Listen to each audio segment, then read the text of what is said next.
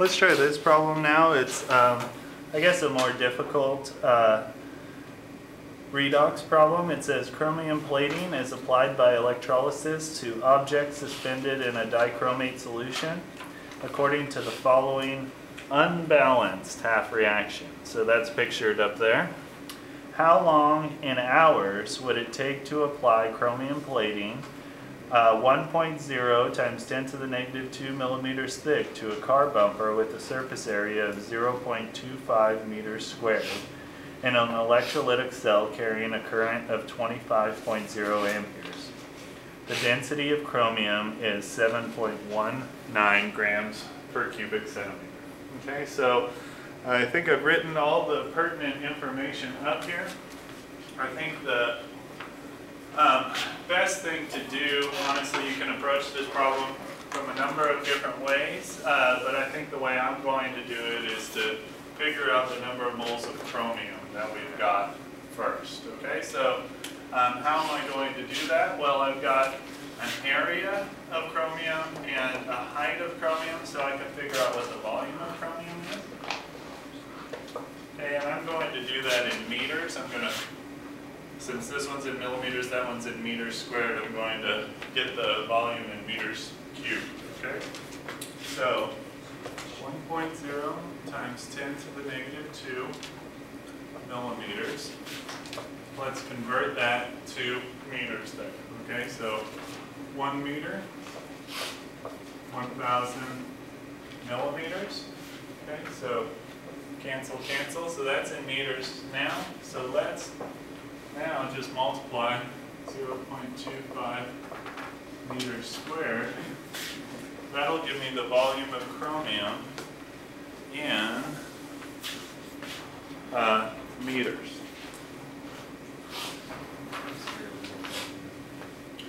So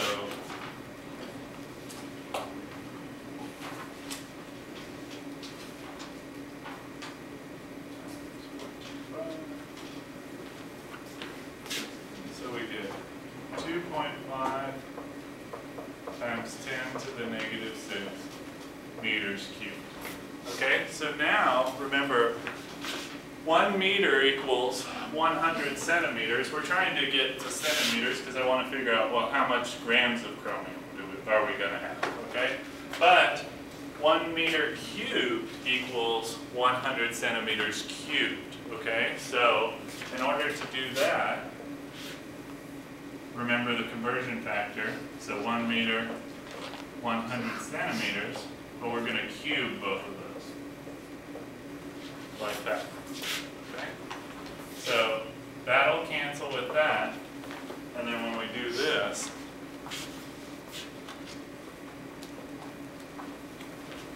we get 2.5 centimeters cubed, like that. Okay? So that's how much chromium we need to electroplate the whole bumper. Okay? So, well, what's the density of chromium we've got? So what would be that the mass of that chromium? In fact, let's go so far as to say what would be the number of moles of that chromium. Okay, so for number of moles of chromium, we can get the mass directly, but we're going to need the molar mass of chromium. Get that from the periodic table. So what is that over there? 52.00 grams per mole of chromium. So let's go all the way to moles of chromium. So 2.5 centimeters cubed chromium. One centimeter cubed chromium. 7.19 grams of chromium. 52.00 grams chromium. One mole of chromium.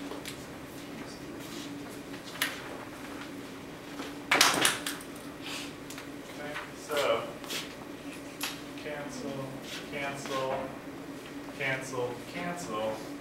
We're going to get over here number of moles of chromium. So 2.5 times 7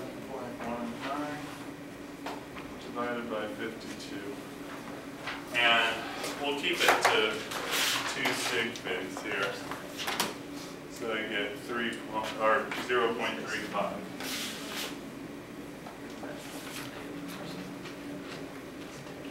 Moles of chromium. Okay, so does everybody follow me to there? Follow me to there? Uh, so, I'm gonna erase this, at least this top part here. And the next thing we're going to do, so like I said, we could have approached this problem from a number of different ways. Um, the other way we could do it, or the other way, um, would have been to start with balancing that half reaction. But now we're going to actually balance the half reaction in the second step. So you, like I said, you could have done it either way.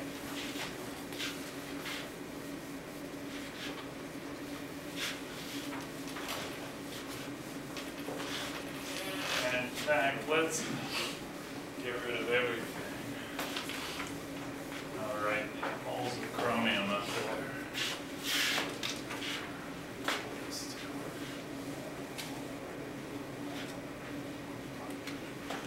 So, number of moles of chromium is zero point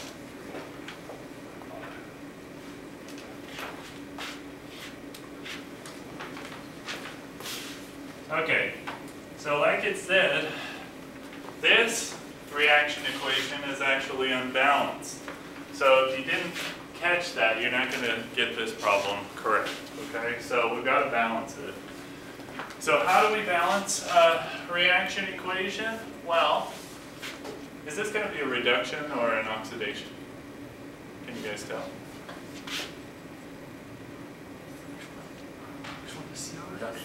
It's a reduction, yeah, reduction, right? Why? Because there's a number of reasons, right? It's gaining electrons, that's probably the most obvious. But look at the chromium, it's losing oxygens, okay? So that's another way to check it out, okay? Reduction. Let's just write that down for fun. Okay, so how do we balance our half reaction? So we're going to first balance the non-oxygen, non-hydrogen atoms, okay? So that's chromium. We've got two over here, none over here, so we're gonna put a two there. Okay, so now we see, well, we've got seven oxygens over here and only one over here, okay? So what are we going to do? We're gonna multiply that uh, water by seven, right? Okay, so we've got a seven there now, so we've got seven oxygens there, seven oxygens there. Now we've got fourteen hydrogen here and only one hydrogen on the other side, right? So we're gonna have to add thirteen more, or multiply that by fourteen, right? So now we have fourteen here, fourteen here. Oxygens, oxygens are balanced, chromiums are balanced. The only thing that isn't balanced now is the what? The charges, right? The electrons. So what do we see? Well, we've got three negatives, um, 14 positives, and a zero over on this side, right? So we're gonna have to add electrons to this side, right? So 12 minus, uh, or 14 minus 2 is going to be 12, right? So that's how many electrons we're going to add here. Okay, so if you want to re-add it up, right? 12 negatives plus 2 negatives is 14 minus, right? And plus 14 plus, that's going to equal 0, which is what we have over here. Okay, we cool with that? Okay, wonderful. Okay, so now Everybody agree our reaction is now balanced, right? Yes. Okay? So, we can now figure out, well, what is the number of moles of electrons that have been transferred when 0.35 moles of chromium get transferred? Okay, so let's figure that out number of moles of electrons is going to be so what do here? Sorry. Um, 0.35 moles chromium for every 2 moles chromium. is 12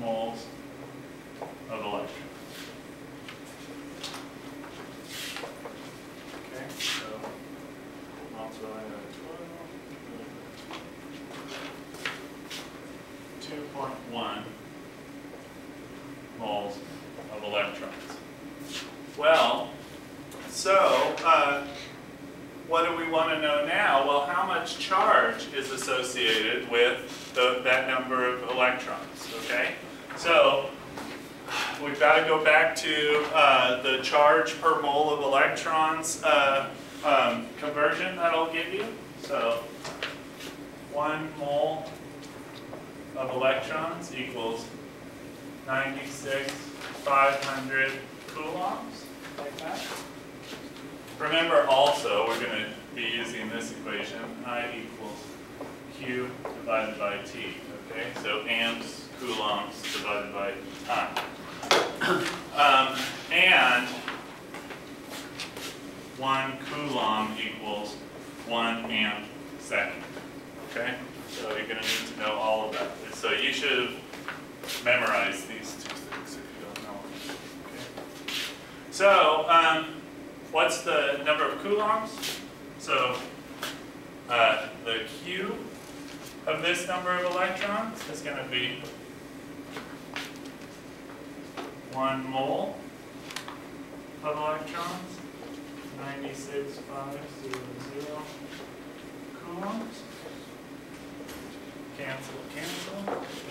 So, ninety-six five hundred. Two oh times ten to the 1, 2, 3, 4, 5 coulombs, like that. Is everybody set with what we've done so far? Okay, wonderful.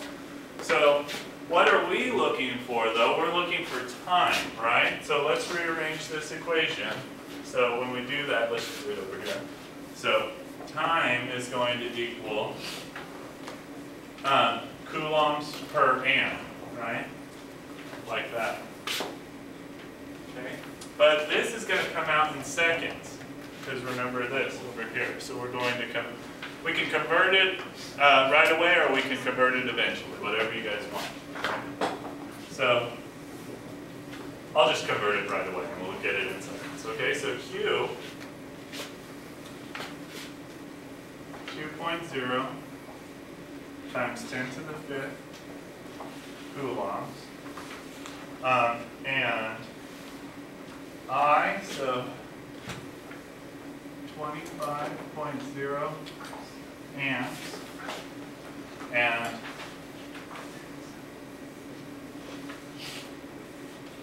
so remember, for every one amp second is one coulomb. Okay, so amps cancel, coulombs cancel, so we're going to end up with seconds there. Okay, so if you wanted to do it, well, let's do it in two steps, just to make it easier guys. So divide that by 25, and we get 8,000 seconds, essentially 8,005 seconds. 8.0 times 10 to the third seconds. And then say, for every hour, because we wanted it in hours, remember, so they wanted it in hour. Cancel, cancel like that. So divide that by 3600. And to two sig figs, 2.2 hours. So 2.2 hours is the time that it's going to take you to plate your bumper with chrome. chrome. Any questions on that one? Good job, guys. This is a tough problem.